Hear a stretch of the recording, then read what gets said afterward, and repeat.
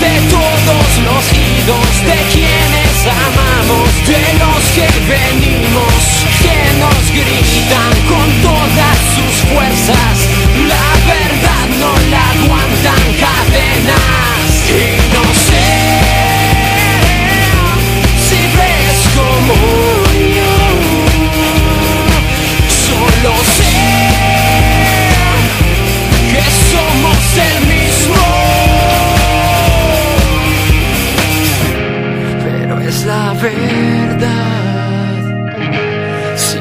más allá,